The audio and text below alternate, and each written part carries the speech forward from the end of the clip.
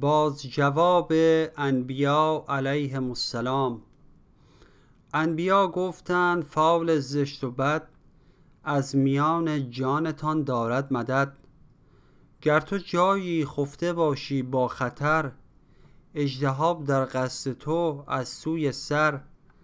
مهربانی مر تو را آگاه کرد که بجه زو در نه اژدرهات خورد. تو بگویی فال بد چون می‌زنی. فال چه برجه ببین در روشنی. از میان فال بد من خود تو را. میرهانم می‌برم سوی سرا. چون نبی آگه کننده است از نهان کو بدید آنچه ندید اهل جهان. گر طبیبی گویدت غوره مخور که چنین رنجی برآرد شور و شر. گر طبیبی گویدت غوره مخر که چنین رنجی برآرد شور و شر. تو بگویی فال بد چون می‌زنی پس تو ناصح را مسمع می‌کنی. ور منجم گویدت کامروز هیچ آنچنان کاری مکن اندر پسیچ. صد ره ار بینی دروغ اختری یک دوباره راست آید می‌خری این نجوم ما نشد هرگز خلاف. صحتش چون ماند از تو در غلاف. آن طبیب و آن منجم از گمان. می‌کنند آگاه و ما خود از عیان. دود می بینیم و از کران.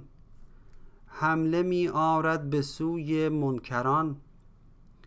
تو همی گویی خمش کن زین مقال که زیان ماست قال شوم فال.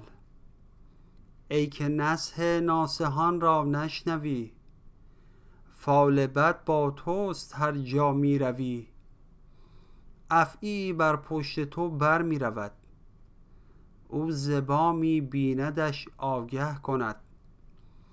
گوییش خاموش غمگینم مکن.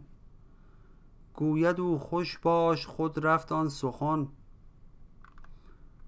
چون زند افعی دهان بر گردنت تلخ گردد جمله شادی جستنت. پس بدو گویی همین بود ای فلان. چون بندریدی گریبان در فغان. یا ز بالایم تو سنگی می‌زدی. تا مرا آن جد نمودی و بدی. او بگوید زانکه می آزرده ای تو بگویی نیک شادم کرده ای. گفت من کردم جوامردی به پند. تا رهانم من تو را زین خشک بند. از لییمی حق آن نشناختی.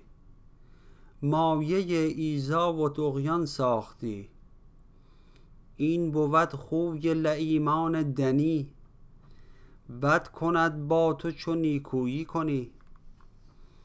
نفس را زین صبر میکن منحنیش. که لییم است و نسازد نیکوییش.